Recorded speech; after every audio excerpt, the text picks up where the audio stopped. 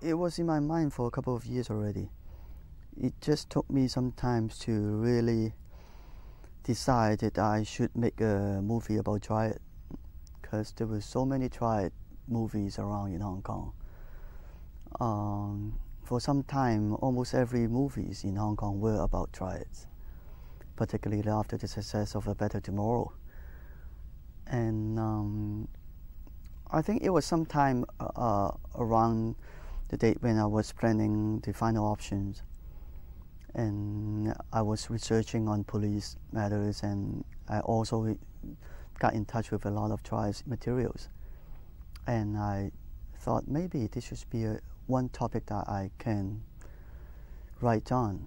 And uh, so it was a couple of years.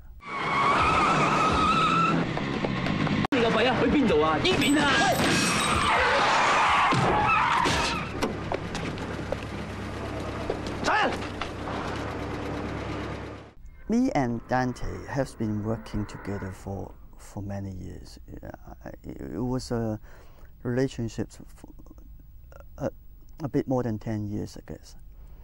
Uh, he was my assistant director. Before that, he was my uh, he was an assistant producer in my uh, film, and and I personally picked him up to to really train him up to be a director.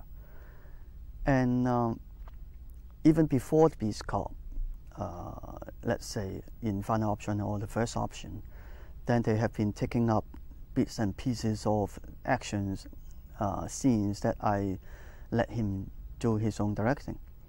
And, and he would just follow some instruction of mine, some idea of mine, and then he, he do his own things. And he became so confident after then that I think it's time for him to really get up and direct his own film. He did one film, the G4, uh, which I thought was good enough, but we were facing a very tough market situation then. I think it was the worst time of Hong Kong film industry when we started Beast Cop. Uh, the pirated VCD sales were so high, and we, we, we were almost certain that um, unless we dra- drastically cut the cost of Beast Cop, otherwise we won't survive. So I end up have to cut my uh, salary in a very large portion, and to justify that, uh, we came up with the ideas. Well, uh, uh, Dante has been helping me already, so to justify justify that cut of salary and, and the fact that I'm going to let Dante do a little bit more, let's go direct.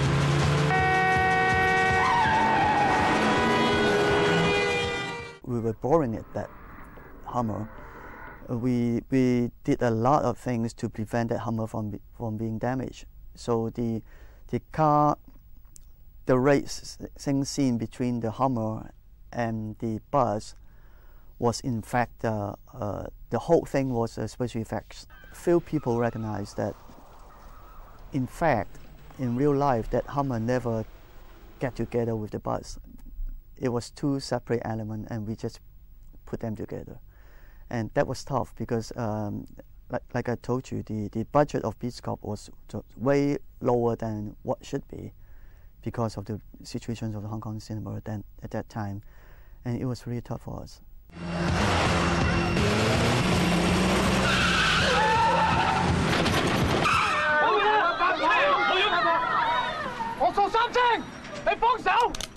Michael is a very straightforward guy, um, which makes him perfect for the role. And the very fact that uh, after the final options, I always try to get a little bit more out of the cop thing. Like he, he could be uh, Stone in the final option or Wang in, in the first option, but uh, whatever he did. Uh, I was I still had in mind that I, I can get a little bit more out of Michael. And and the Beast Cop was one of the attempts.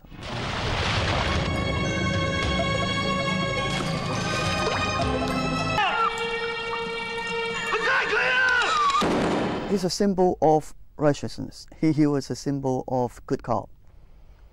He was a he, he was a symbol of how the best cop could behave. And this is why I need him, particularly in the Beast Cop when when I need him to contrast the all the other cops, which was uh, uh, uh, Anthony Wong and, and Sam Lee, and which he did well. 喂，东哥，乜咁早上？咩事啊，东哥？加型啊，嗱嗱，踢多脚得啦。真系唔知道喎。啊， He, was one of the best actors around. I think everybody agrees. Um, and before Armageddon, I never worked with him. And even Armageddon, he was so surprised because uh, when I picked him up for the role of Armageddon, he was basically laid off. he was considered a, a, good actor, but bad for the box office. A great starring role for some C-grade movie in Hong Kong, and that's it. And but I had a very good time with him in Armageddon and the fact that I cast him in the G4 as a leading role for Dante uh, just put, gave me a lot of confidence in him. And I must say the Beast Cop was particularly catered for him. When I look at him and Michael Wong, I know what, what I can do with these two characters.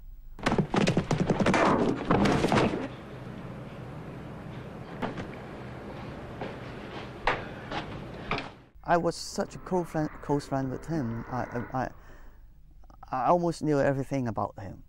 Uh, I was the first one to know about his illness, and at the, at the height of his illness, he was doing G4.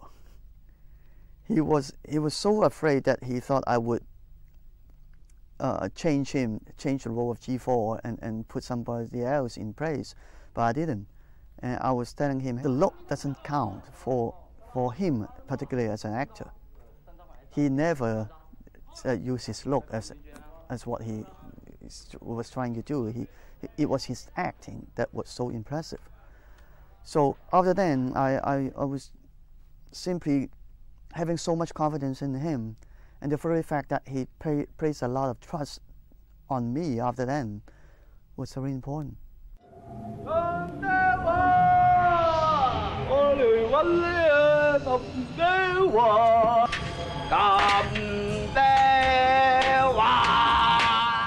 He was that guy. Uh, during the, the during the shooting of the film, he was it basically morphed into that character that I was creating. And the very fact that he was doing it at a very unpretentious pretentious way was uh, like it was not hard acting. It was just it is. And it was so relaxed all along the way. And that is very difficult.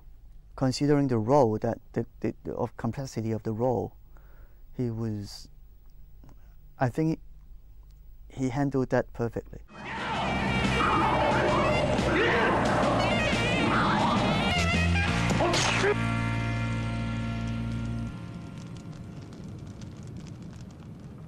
Before Beast Cop, I always considered Patrick as one of the most underrated actor, and he is still the most one of the most underrated actor, even though he won the, the Best Supporting Actor award.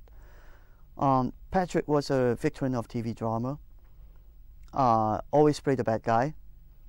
Uh, he he wasn't a big idol character, but he was he, he is one of the best actors around and he, he, he wasn't able to get any good role, so to speak. Um, but I noticed him for at least five years before Beast Cop. I was always trying to find an occasion, just give me one chance to bring up Patrick Tam. And it was that occasion. I didn't even talk to him when I cast him as, a, as the, on, on, in that role. I just told my producers, get Patrick Tam, tell him he's in. And I thought Patrick was so surprised. We never met before. But that was it. I was so sure about him.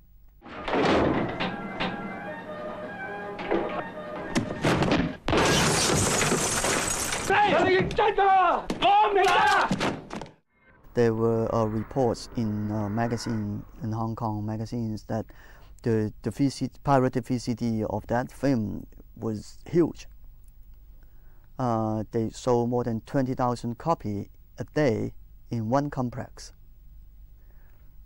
and that was so disappointing for us. And and that was, uh, I think that accounts for one of the reasons of, why the box office wasn't really good, uh, that good in Hong Kong. But uh, in addition to that, it, it, wasn't a really commercial commercial film. I must admit it. Uh, the the the the way I should be sculpted uh, in a way that I throw all the commercial elements or, or commercial calculation out of the window because I cannot calculate anymore. I cannot foresee any market situations. I, I could not estimate what the sales could be. So it, it was it was a pretty much a lot more personal piece than what I did uh, uh, uh, in a couple, for a couple of years. So I think both of these elements uh, uh, accounts for the, the, the lack of good sales in Hong Kong.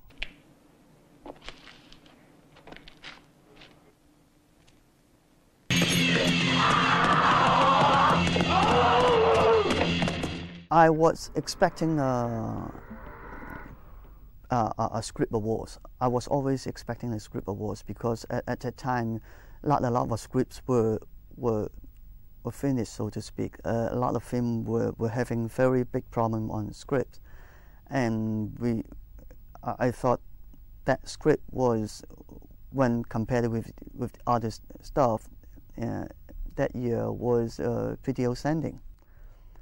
But I, I never expect all the other awards, uh, except the awards for Anthony, because he was so good in that role, and everybody was saying that Anthony should win the award. But besides that, I was so surprised. Uh, you have to understand that ever, ever after John Woo, not one action film won that many awards, and not one action film were being appreciated by the critics uh, action film were always considered as commercial uh, and, and cast uh, as not artistic value will always evaluate at the second class. And the fact that I co-direct with Dante also attributed to the fact that it would be very difficult for people to give us the award. But they did, and I was so surprised.